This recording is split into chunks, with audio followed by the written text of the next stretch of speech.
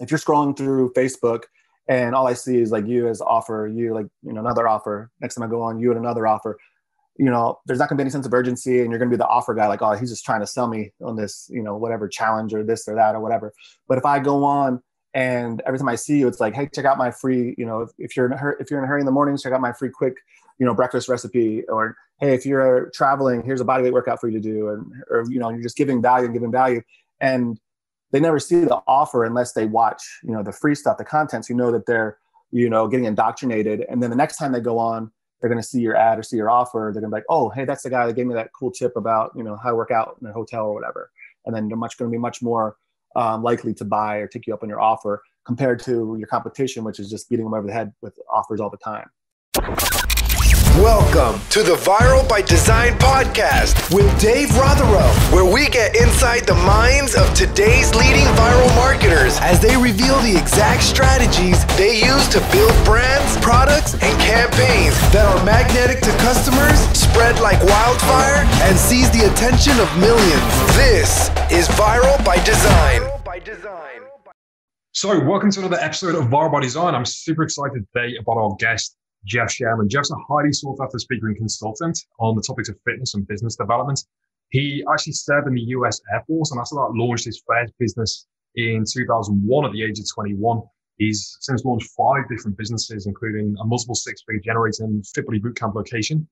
And this helped over 5,000 business industries to increase their lead gen and sales, leveraging stuff like Facebook ads, Facebook page management, and also sales funnels to, to help them grow and to acquire new customers. In 2017, he also founded NuMove, which is a platform that turns books into interactive gamified community. So, Jeff, thanks so much for giving us some time today, man.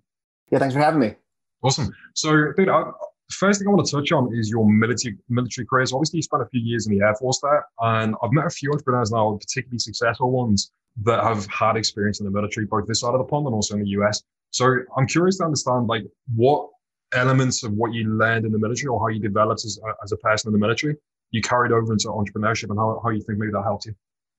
No, for sure. I mean, obviously, the military, you're going to learn discipline, right? So, and doing things that, that you don't necessarily want to do, but know that it's for the greater good of the, you know, of the mission or or the cause. So, you know, discipline is going to get you pretty far. Um, for me, I was pretty lucky in the um, when I was in the Air Force, I was able to become a personal trainer and do that as an extra duty assignment and develop that skill um, that was able to actually carry over once I got out of the military, you know, as well. So, but I, I would say just learning like structure, uh, discipline, um, just work, just work ethic, really. Yeah, hundred percent. Like I know, I know there's one bit of advice that um, like Jordan Peterson always always goes after, which is you, you want to improve your life, start with tidying your room, and that always kind of feels like a like a really really great foundation point, like one thing that people can really grasp onto what, what would you say is one thing that you could you could tell like maybe younger entrepreneurs or people are getting started, like one discipline that they could learn, um, which they could which you know they could apply every single day, which could help them? Yeah, I mean, I don't know necessarily if it's a discipline, but it's one thing that I struggled with in the beginning, and that's uh, asking for help. Like I always try to do everything on my own, and uh, that's going to slow you down more than anything. You know, all the information's out there. There's somebody that's done it. Um, you know, are ready, you know, don't be afraid to uh, to ask for help and to get the resources that you need to, you know, move your business and, and your life forward as fast as possible. Yeah. So how does that like split like right now in your business? How how does that uh, like manifest itself right now? What are your kind of day to day priorities and responsibilities? Yeah, I mean, I'm fortunate at this point that I have a great team, you know, around me. So it's really just having the long term vision for my company, and then I'm going to different events. I have different business coaches, seeing what's working now, and then teaching that to my team and letting them run with it. Um, and my main thing is just motivating my team and giving them permission to do their best, you know, and uh, hire people that are much smarter and better than I am. Yeah, right. How do you do that? Like, how do you motivate a team? Like, how do you pick out what's important to them and, and make them work harder while we can feel good about it? Yeah, so for me, it's really all about you know your business culture and what you want that to look like. I visited I visited the uh, Google campus. I don't know, maybe like seven or eight years ago, and I found out like none of their engineers have like a work schedule. They can work as much or as little as they want. They can work on whatever projects they want. Um, they can hire who they need to hire, and um, so they really had a great lifestyle. And everything on the campus was like provided for them from like five star restaurants to laundry, dry cleaning, massage therapists, personal trainers. They never wanted to leave there. And in turn, that actually made them work like a hundred times harder.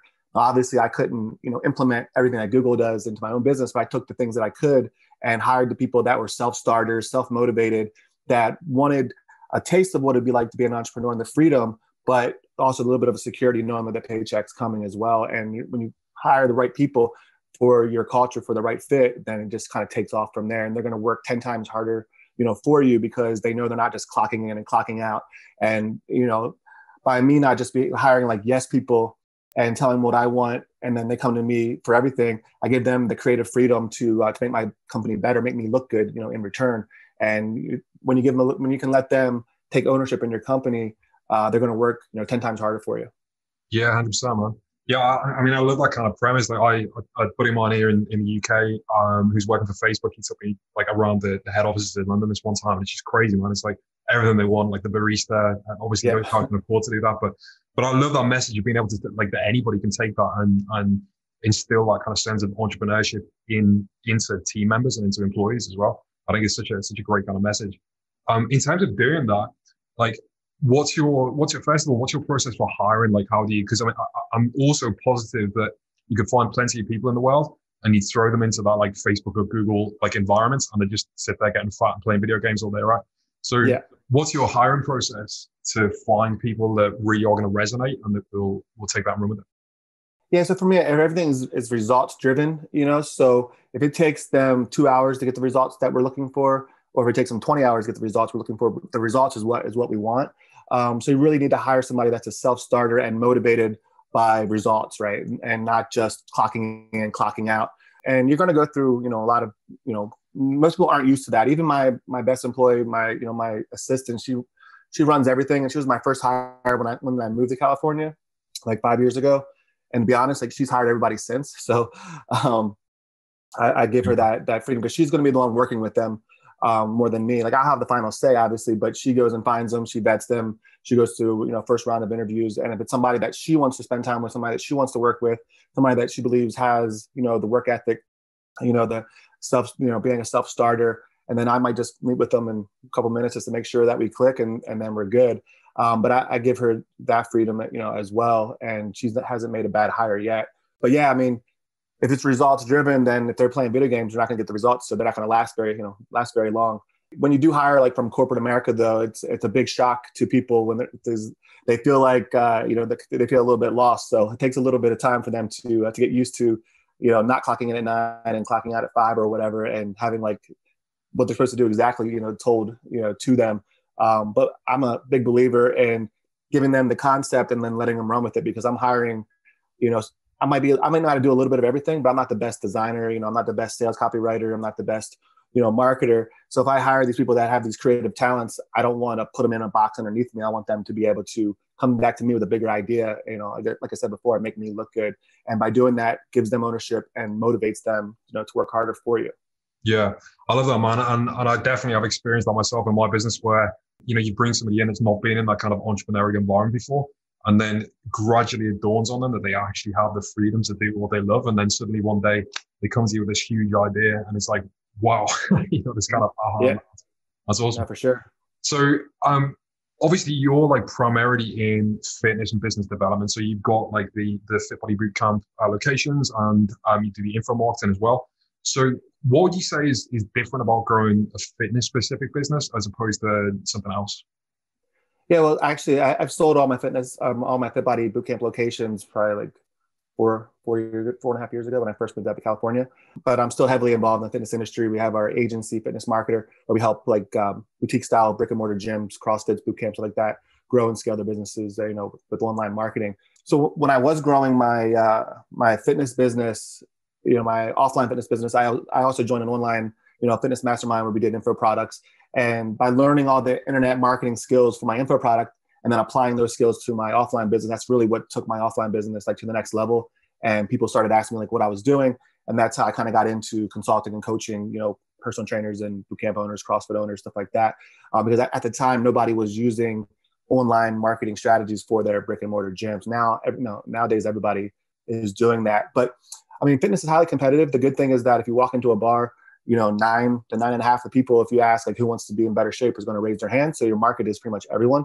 Um, so that's the good. That's the good thing. Um, it's uh, pandemic proof as long as you find the right modality. Obviously, they couldn't come into the gym, but you could do it online. So we have people pivoting and and just making more money online than they were in their brick and mortars. And a lot of them didn't even go back to their brick and mortars.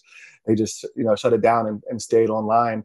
And uh, it's recession proof. Like people know like they need to feel good in order to work hard. So they're not the first ones to get laid off, you know, during a recession. So it's, you know, I built my, my fit body boot camp. It was in the, you know, we started in 2009, 2008 during a recession and, and we were able to build it. So that's one of the good things about the fitness industry is that everybody's always going to want to be healthier, always want to be fitter, stronger, um, no matter what's going on in the world. Yeah. So that's really interesting. You know what you say about the um, everybody's pretty much everybody's your market, or everybody wants to get fit, um, but it's a highly competitive market. So you've got this this kind of great combination of huge market, but also you know decent decent amount of competition. So in that kind of marketplace where there's obviously a lot of market saturation. How do you set yourself aside? What kind of messaging are you using, uh, or your clients using to, to attract people? Yeah, so I mean, people can come in, they can they can rip off your workouts, they can rip off your marketing, they can copy your ads, copy your offers. But the thing that you have, you know, is you, right? So it's uh, you have to sell yourself, you have to sell your story, um, you know, tell your story, and people are going to resonate with your story, resonate with you, your personality, with your view on the world and your view on health and fitness. And you really don't need you know a big percentage of um, the market share to make a good living or make a good business especially with smaller boutique style gyms you know in a city like when i when i lived in baltimore um, it's like less than a million people in the city and then the town that i was you know the suburb that i was in was probably a couple hundred thousand right and um, you know, I only need 250 members, you know, to be making 60, 70,000 dollars a month um, with like, you know, 50, 55% profit margin. So it's not a bad lifestyle business. And to get 250 people, it's like less than 1%, right? So you you only have to find 250 people that resonate with you and you do that by sharing your you know what gary v you know he says document rather than create content doc- document what you're doing people want to live vicariously through you just live an exciting life and document it ups and downs and be open and uh, vulnerable with people and you're going to find your tribe find the people that you know want to train with you any modality whether it's high intensity training you know strength training pilates you know whatever it is if you do it consistently, you're going to get in shape. So it's not, it doesn't really matter what the workout is, what equipment you have. It matters about you. That's the main yeah. thing. Yeah. So that's great. You're talking about documenting, you're talking about, you know, making, making life easier on yourself, making that content. So regards to when uh, you bring on a client, like a fitness client, what's the kind of like rough pathway that you take them through? Like what, what's the first thing you get them doing? Um, where do you kind of take them to, to, to success? Yeah, I mean, main thing is just really starting with the end in mind, seeing what their big vision is, and then working backwards from there. So we talk about like what I call like a vision goal. So um, you know, it's like the Dan Sullivan question, like what needs to happen at the end of this year for you to consider this year success? And they say, well, I need this many, you know, clients. I need to make this much money. I want this many employees. So I take this many vacations or whatever. And they have this big vision. Then a vision without, you know, a process you know of, of attaining it is you know just like a dream right you're not, you're not going to get there so we kind of reverse engineer that and we're like well what needs to happen you know on a monthly basis or on a quarterly basis and break it down even to a weekly basis and then what do you need to do daily so and how many you know leads do you need to get how many appointments do you need to set how many do you need to close to be on track to reach that goal and they start implementing the process we start you know documenting the results they're getting and if the results are on track to reach that vision then they're good if not, then they kind of reevaluate. It's like, are you willing to do more, put in more effort, and and get back on track, or are you going to take that vision and be okay with like a little bit less or something different or, or whatnot? But it's all data driven, just like anything else. Uh, we start with the vision goals, and then we work backwards and create the process goals. That's what works, right? Just a methodical approach, like figure out where you want to go, and then step step backwards and, and build that build that path to. That's awesome. So you, you obviously help people with uh, with Facebook ads, Facebook page management, and sales funnels as well. So talking about the Facebook ads, that's something that's you know really interesting to us. So what does that kind of process look like with people? Like how does your kind of Facebook ad strategy work? Yeah, I mean, I'm not heavily involved anymore. I used to run all my own Facebook ads like six, five, six years ago. Um, but um, it, it's all it's all the same thing. Um, you don't you don't want to be like a Me Too, you know, offer a Me Too ad. So by putting out the content and then you know giving people value up front and for free, and getting them to know, like, and trust you and resonate with you, um, and then retargeting to an offer. Because if you're scrolling through Facebook and all I see is like you as offer, you like, you know, another offer. Next time I go on, you and another offer. You know, there's not gonna be any sense of urgency, and you're gonna be the offer guy, like, oh, he's just trying to sell me on this, you know, whatever challenge or this or that or whatever. But if I go on and every time I see you, it's like, hey, check out my free, you know, if, if you're in a if you're in a hurry in the mornings, check out my free quick, you know, breakfast recipe, or hey, if you're traveling, here's a bodyweight workout for you to do, and or you know, you're just giving value and giving value, and they never see the offer unless they watch, you know, the free stuff, the contents. You know that they're, you know, getting indoctrinated. And then the next time they go on, they're going to see your ad or see your offer. They're going to be like, oh, hey, that's the guy that gave me that cool tip about, you know, how to work out in a hotel or whatever. And then they're much going to be much more um, likely to buy or take you up on your offer compared to your competition, which is just beating them over the head with offers all the time. Yeah, yeah, hundred percent. So I see you've got two big shiny Two Comma Club awards behind you right there. Um, so which which particular offers or funnels can you give us some background on on how you how you got those? Yeah, so the one is for our agency, uh, Fitness Marketer. What we did is like I already had about six or seven funnels that um, were converting in my own businesses, and what I did was just license them to other, you know, um, boot camps, other trainers, all pretty much all over the world. Um, because like, you know, somebody running an offer in Baltimore and somebody off running the same exact offer in Los Angeles, they're not competing, and we were able to uh, to license, you know, those funnels. So we had one funnel coming in, you know, to uh, to get them on the phone where we could show them the different funnels that we could have that we could license them and sell to them, and then we build them out. And that was like the core offer of our agency initially. Um, and then the other thing, uh, the other one is with uh, my more of like the parent company, uh, TechSweat. Um, what we did is we started running like live workshops and uh, teaching people how to run their own Facebook ads. Uh, we called it like an implementation boot camp where they would actually come to the workshop and by the time they left, they would have you know their ads up, running, you know, live, already making sales. You know, so that was uh, that's what the other one was. That's awesome. So if you were to go back to you know when you founded your first business when you were back in um, back in 2000, right? When you sorry 2001 when you were 21 years old. Um, if you were to go back now with the knowledge that you've got, but but without the foresight of necessarily what was going to happen to you, you know, knowing what you do now, having the wisdom that you've got now, what would you do the same? What would you do differently? What were the most powerful things and the things that maybe wasted your time? Yeah, I mean, I would do what I did in like 2008, 2009. I would do it in 2001. Um, in 2001, I knew nothing about business or marketing. I was good at sales. I mean, I worked as at Bally Total Fitness at the time, I was one of their top salesmen. Um, but people were walking in the door, and I would stand at the front desk and you know ask them if they wanted you know somebody to walk around and show them what to do or whatever, and then close them on personal training. But um, when I started my own business, I was like, well, there, you know, there's nobody coming in. I would go out in the street and just talk to people because I was in an area where people would walk to lunch and stuff like that. So um, I would just hustle and and get them in. But if I was, uh, you know, in 2009, once I started learning the power, you know, of networking and, and you know affiliate marketing for online, took that affiliate mar- took that affiliate model to a brick and mortar. So I would find other businesses that had like-minded clients that they were serving in a non-competitive way. So for me, it's pretty much like parents. So I would go to the gymnastics center and I would work out some kind of deal with uh, with the owners there where they would mail out to their parents like a 21 day for $21 challenge. And i would donate 100% of that $21 to the gymnastics center so they could buy new equipment they could buy uniforms they could buy you know pay for different tournaments or competitions that their team was going to go in. So the parents could feel good about supporting you know the gymnastics center with you know it's better than you know doing a car wash or pumping gas or whatever or standing on the corner with a five gallon bucket you know asking for change you know to, to to raise money. So i would create like a you know kind of like a fundraiser type type deal and do these affiliate offers with local businesses um, and you know the first time i did that um, i think i got like i don't know almost 50 people in a one time and closed like 27 of them to, on long-term memberships and i was like it was totally free so i would definitely um, if you don't have like you either have money or you have time so i would spend my time developing those relationships with um, local businesses that serve the same clientele as you in a non-competing way. Yeah, I love that, man. And you know that concept of leverage and trust as well. I think is something which has so many different applications. Like you know, early on, I kicked off in, in e-commerce, and one of the things that we leveraged was trusted platforms like Kickstarter, right?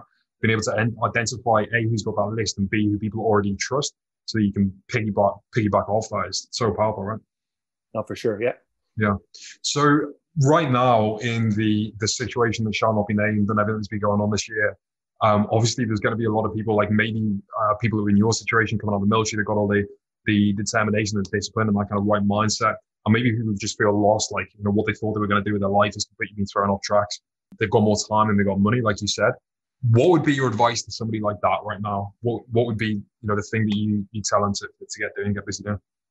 Yeah, I mean, to me, it's all about skills. So I would develop a high income skill. Um, all the information in the world is out there. If you want to learn how to be a copywriter, if you want to learn some kind of you know design or creating offers or strategy, um, and then I would find a mentor, somebody that's doing what you want to do, and um, you know go learn you know from them, do research on their business, and take the skill that you learn and go to them with like, hey, I love what you're doing. Uh, I would love to you know could I test out my skill with you know with with your you know with your stuff totally for free, and if it works, great. If not, no big deal. Because a lot of people they'll go to a mentor, you know, somebody a potential mentor, and they'll be like, hey, I would love to learn from you. You know, if there's anything you want me to do, just let me do it. You know, I'll do it for free. And it's like they have to like think of what think of something for them to do. They're never going to do that. But if you go to them with an idea and something that you could actually implement, they're probably to let you do it. You know, so if you go to them and be like, hey, I love your stuff have you ever thought about doing this? I've done this with, with some other stuff and it works great. I'd love to do it for you and to show you totally free. Most people aren't going to say no, you know, and that'll give you a, you know, a foot in the door and a way to build that relationship and to start learning from them. And then what I would do is uh, start selling affiliate products, you know, in the industry or the niche that I want to eventually have a business in, because then, you know, um, you can start getting feedback and you can see like what's selling, what your audience is buying, uh, what they like about it, what they don't like about it. And then when you go to create your product that's very similar to the one that you've been selling, you can take all the negative stuff that you've learned and eliminate it and then add all the things that people were saying were missing and have a much better chance of being successful with your own, with your first product. And you're also making money right off the bat. You have to worry about customer service. You don't have to worry about fulfillment. You don't have to worry about manufacturing. You don't have to worry about anything. You know you just worry just learn how to sell um, what it is that you want to sell um, and then you'll figure you know your customers will tell you what they want it's great advice man absolutely fantastic so going into 2021 right now, what's your main priorities? What are you working on? What, what are you hoping to achieve by this time next year? Yeah, so I. I've had my, my first venture outside of the fitness industry with uh, with NuMove.com. It's a reality gamification platform. Uh, right now, we're focusing on helping authors turn their books and um, you know into a reality game, helping course owners turn their courses into a reality game. And uh, with the pandemic, with most brick and mortar gyms closing down, it gave me the freedom, it gave me the time to uh, really just launch uh, my new software company. I've been working on it for like the last three, you know, last three years. But I, you know, with everything else going so well, it's, it's you know, it hasn't been a priority. So now it now it is, and it's pretty powerful platform. You know, with most course owners, most courses, paid courses, only about seventeen percent of the um, students, whatever, finish the course. And for us, like when we were selling our high ticket items, like our masterminds and our events, stuff like that, we were selling those primarily to people that were going through our courses, our, you know, our $2,000 courses or whatever, because we were selling them on $15,000, $20,000 masterminds. And what we noticed was the ones that were actually signing up and coming were the ones that were finishing the course. So we wanted to figure out ways to get, you know, more engagement, get people through the course, because then we know we'd be able to sell our high ticket item better. So we started looking at different aspects, um, and community is, is huge nowadays everybody is doing like a Facebook group with their course, right? So like you buy a course, it's like, oh, join our exclusive Facebook group or whatever. And they're getting a ton of engagement in the Facebook group, but everybody forgets about the course. So they're still only getting the 17%, you know, finishing. So what we did is we took all the elements of the Facebook group and put them inside the platform. So all the interaction now takes place around the course. So when you finish a module, everybody can see it. It shows up in the timeline. People can comment and say, great job, or they can, they can see what you know, if you had, you know, whatever you learn in that module, you have to actually go out and do and then prove it through video so everybody can see that you did it in the video. So everybody, you know, if you're funny, people are going to laugh like, oh, that's great or whatever. And people get, people get to know each other based on implementing what it is in the course rather than just talking about theory and stuff in, in a Facebook group. That's awesome. And, and you know, I, I love the fact that you're leveraging that kind of that concept of accountability and the, the concept of community is so, so powerful, you know, especially in actually people getting results. So if I'm a course creator or, a book creator right now, or a book writer right now, author, maybe I should say, uh, then what's the kind of process for me to, to get my book and my course into this, uh, into this platform?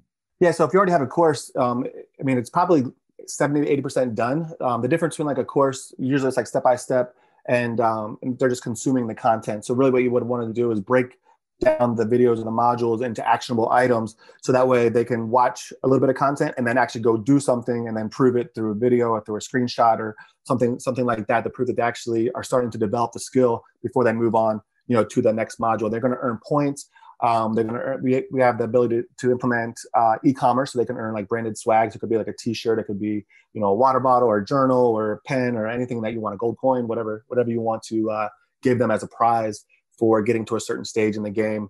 Um, they also can earn like virtual badges and stuff. You know, if they uh, if they play for like seven days in a row, they can be like a bronze medal, you know, player. Four days in a row, they'll be a silver medal, and then 30 days, they can be a gold medal, you know, player. So they're getting that status as well. So we, have implemented about six, seven different uh, gamification strategies to incentivize them to play consistently, to keep moving forward, to you know meet and interact with the other players, uh, to collaborate, you know, with the other players. And by doing all that, we were able to go from a 17% um, completion rate to a 40% completion rate, which is like 238% increase, something like that, something crazy. And you're really creating this huge like interactive community that knows and likes each other. And when you have events, they're not just coming to see you; they're coming to meet the other players because they already you know know them from inside the game, and that's pretty powerful.